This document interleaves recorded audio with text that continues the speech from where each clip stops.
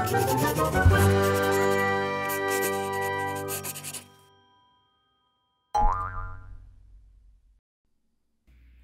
up, everybody? Welcome back to another episode of I Try Drawing. Today, I just got you with a little bit of clickbait. But don't go. Sort of.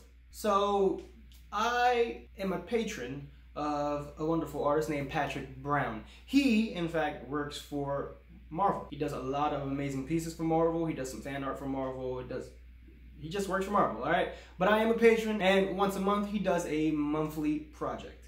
And this month he asked your boy to collab along with all his other patrons. So there you go. That was a clickbait. He didn't really ask me. He asked him Soul, and we kind of paid for that. So anyway, um, in this monthly challenge, he asked us to draw any Marvel character that we would like, and he's gonna draw one as well, and we're gonna put it into a big collaborative piece. It's gonna be awesome. So today, I try drawing Spider Girl, a collab piece with Marvel. Marvel's artist, Patrick Brown. Let's get started. All right, everybody. So to start, I'm going to go with my regular sketch process. I use my guidelines like always. It helps me with the proportions on the face and the proportions in the body and the pose. So I always use my guidelines. I go with this stick figure just to get the pose down. I did do some thumbnails just to see how I wanted her to be posed.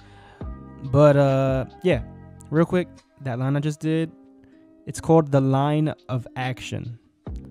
That long line down the middle, line of action. It just helps you figure out the flow of the pose. All right, I know that's the that's the the line I'm gonna use to make sure she just stays proportionate and she stays in that sort of curve, I guess. But yeah, that's the line of action. I don't always use it, but it does help, especially with certain poses. But anyway, for this piece, I wanted to draw Spider Girl. Now, everyone knows Spider Gwen, but I didn't want to draw Spider Gwen. Spider Gwen is the Gwen Stacy from another universe who turned into Spider Girl, and instead, Peter died. he died. Anyway, but that's not who I'm drawing. The Spider Girl I'm drawing is Anya Corazon. Anya Sofia Corazon. Um, if you look her up, you can you're gonna probably see her black costume is kind of like the symbiote suit for Peter, but that's not the one I'm doing right now. I'm doing the one that I remember from when I was younger. It reminded me of when in this in the first Spider-Man movie when he does the human spider suit that he makes it at home and it's not a good costume. I like that idea. So Anya the suit that I remember, it looks like she just made it at home with a t-shirt and she probably just drew a spider on her shirt. But I love that costume. So yeah. Now after I'm done my sketch, go into the inks and it basically just going over my sketch layer with black. I try to use a variation of thick and thin lines. So you can see on my sketch, the thigh where it curves, it's going to be thicker than when it goes down the shin. So yeah, that is my inking process. I am going to move on from this because I don't think you guys want to watch me trace over my lines for too long. But I do want to show you this tip real quick. I use Clip Studio Paint. I believe there's a similar tool in Photoshop, but it's called the Symmetry Ruler. You put the ruler straight down where you want to draw. And when you draw on one side, it reflects to the other side, kind of like a mirror. I usually use this when I am doing like metal or mechanical drawings, just because I know they need to be symmetrical. So yeah, I love that tool. Quick tip, if you need something to be symmetrical and you don't want to draw it on both sides, use the symmetry ruler. All right. But yeah, so I'm just going to continue and I'm going to start my coloring process. Now, I don't usually do this uh, base layer, sometimes, but um, I did want to see that silhouette, which I think that silhouette looks awesome. That's why I did that. Um, but yeah, I'm gonna use my magical wand tool and the paint bucket, pick the colors, and just fill them all in.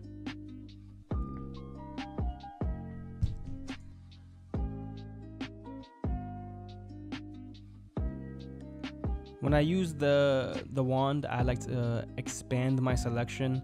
Um, you could do that in Photoshop, and you can do that in Clip. I'm pretty sure you could do that in most digital art programs. Just stretch your selection just so that it gets closer to the black lines you're inking, and you won't have like a little gap of white there. I mean, it's very hard to notice, but when you do notice, it doesn't look good. So I just stretch it and I fill it in. So this is my favorite part. It's the rendering. It's my most relaxing part and it's fun.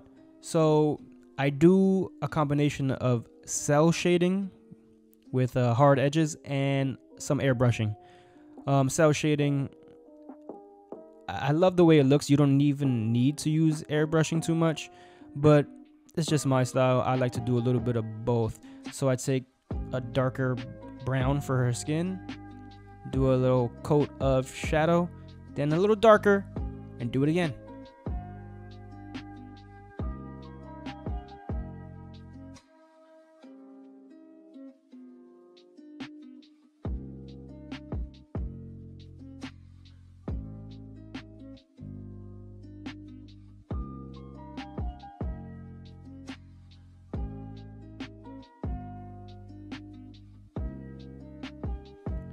I repeat this process for all the colors you see here. So I separated them into different layers.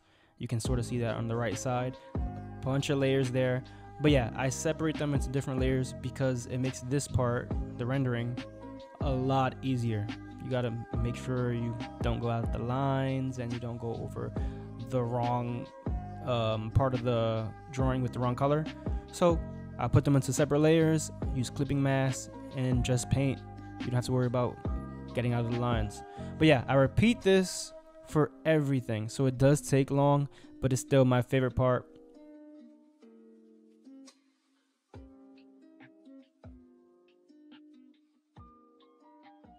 Um, so on this next part, like I said, I continue this process on all the layers, but I like this part especially because I show the the big shadows. You can have your your cel shading to be bigger than what I've done on the face or on the skin. That uh, cel shading on the thigh, it takes up a lot of space on the thigh, and I like the way that looks. And then I soften it up as well. So I have the the hard edge shadows, if that makes sense, and the soft shadows. So I'm gonna get through it, and we're gonna come back, and hopefully it looks spectacular. Spectacular, spectacular spider girl. Mm, yeah. I swear I should start a a singing channel. I try singing. Yeah. Anyway, after I'm done with all the shadows or most of the shadows, I start adding the lighting and I do that the same way pretty much like I do the shadows. I do it with some cel shading sometimes. Sometimes you don't want to get two layers because it's just too bright. But for the most part, I do it the same way. And I also add my soft edge lighting. I feel like it makes the piece You can see my cel shading in the pants with the lighting. I do a lighter blue and then I make it almost white and do it inside that lighter blue, just like I did with the shadows and the cel shading. And then I soften, soften them. Excuse me, I can't speak. I soften them up. Uh, so yeah, I'm gonna just uh, render this little spider and then finish this up.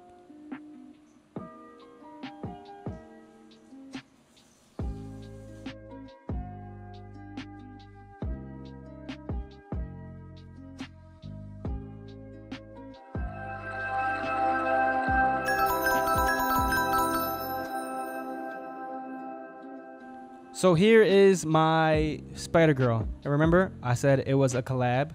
This is what Patrick Brown did. This is his Spider Man. I have a lot to learn, but I think they look great. But it wasn't just me and him, it was all of his patrons. So this is the finished piece. I think this is amazing.